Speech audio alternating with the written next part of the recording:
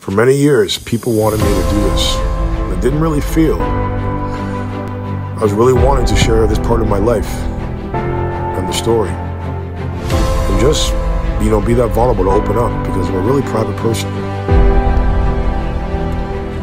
But for in order for many of you to understand who I am and why I am the way that I am, we got to go back to the beginning.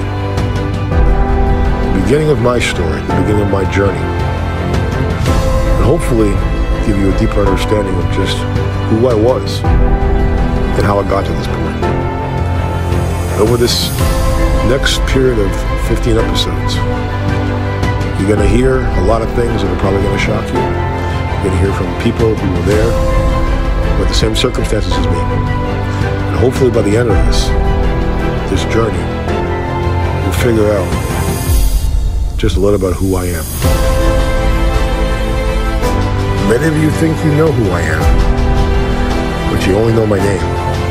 You don't know my story. But here's how it begins.